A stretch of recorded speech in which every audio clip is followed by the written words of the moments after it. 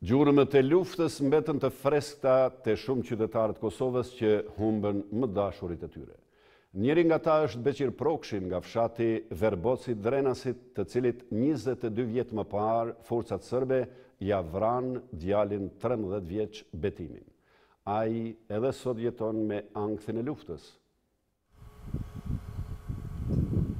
Dorën nuk po e largon nga vendi ku pushojnë eshrat e djalit të tij Betimit, i cili u ekzekutua në moshën trembëdhjetë vjeçare nga forcat serbe në prillin e vitit një mijë e nëntëqind e nëntëdhjetë e nëntë bashkë me disa bashkëfshatarë të fshatit Verbovc të Drenasit. Babai i Betimit, Beqir Prokshi, rrëfen për momentin e vrasjes së djalit të tij nga forcat kriminale serbe.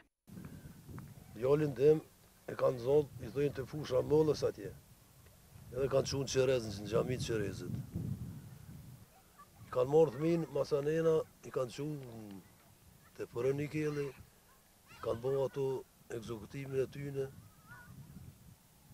mas një kohë i kena gjetë eshtrat jena shku i kena marrë qëtu i kena Masakra e Vërbovcit njihet si ndër masakrat më të mëdha që kanë kryer serbët në Kosovë.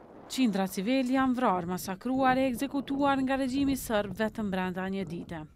Këtu nuk po i nxjerrin njerëz veç përmi e katërqind vetë janë kon t'vramë at ditë përmi e katërqind për një ditë për një ditë krejt bre ai mal ai mal krejt u kon me gjin t'dekun na ushtarët e krejt na jena munu e kena vorros ka pak ku kena mujt. Betimi, djali i Beqirit, ishte më i riu në moshë nga të vrarët e masakrës së Verbovcit. Kaç shkoj shkij more këtu. Është gati i madh, po apet jam krenar që e kum bo qiky djali dhe më ka shku për kit Kosovë.